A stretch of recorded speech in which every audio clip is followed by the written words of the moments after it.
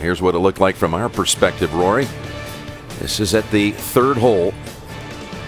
Yeah, um, at 145 yards up the hill, it was just it was downwind, just a, a perfect wedge for me, uh, and it was nice to leave it nice to leave it uh, below the hole. And you went ahead and made that putt. Here we are at the seventh birdie putt. Yeah, I hit it over the green here, which I um, I, I, hit a great four iron, but um, you know it was an even better chip shot and nice to convert the birdie.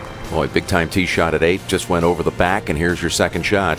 Yeah, uh, again another another great drive, and uh, was pretty fortunate just to just to, to leave it where it did, and it was a nice easy up and down. And it led to birdie.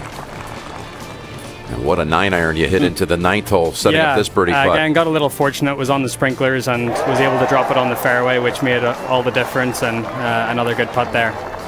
At the 10th, this is when we started to sense something special was going on. Yeah, I was out of position with my tee shot. I got it back into position and uh, you know hit another great nine iron in there to just to hold it on the back of that green was was great and another another good putt. How about this shot you executed at the 12th?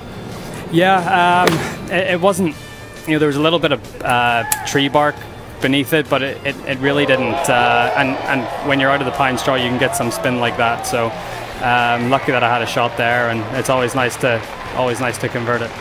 That green can be tricky. This was your birdie putt at 12. Yeah, I just needed to get it started and, and roll it down the hill and um, let gravity do the rest.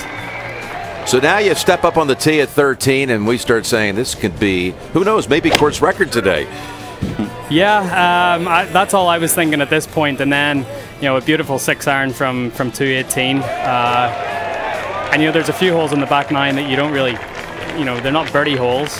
Um, but to roll this in, that's when I started to think. You know, I think I was eight under through 13 at this, or yeah, eight under through 13 at this point. So I thought, you know, now that now I have a chance. And you had some time to think about it on the tee at 14, and somehow you just, after a long wait, hit a gorgeous three wood here. Yeah, this was nice. Um, I got it a little out of the, the top of the club face, so it was a that's what I thought. A bit, a bit of a tumbler, and uh, it, it, got it got going there, and um, you know it was absolutely perfect. You hit on back edge yesterday. I hit driver, driver over the green yesterday yeah. in the morning, so that's why you know I was reluctant to hit driver there today.